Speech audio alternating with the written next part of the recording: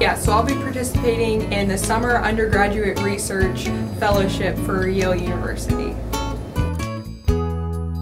I paired up with a professor who's already doing research there that almost aligns with what I did last summer and so they were like we love all of your experiences that you know you've already had here at Bloom we'd love for you to work with this professor and what he's doing is working with um, different types of catalysts and I'll be studying their effectiveness in converting CO2 into useful materials so that can be used in like energy efficiency and um, stuff like that um, with CO2 to convert it um, into useful materials. So like our products will be something different than what we started with. Um, so like if we could find a low cost way, which is what like the catalyst is, is a low cost way of like changing CO2 into like maybe like methane or something.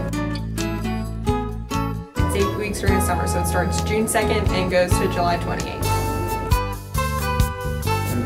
I'm expecting, you know, a full work day, full work week, if not a little bit more than that. So, but I'm really excited.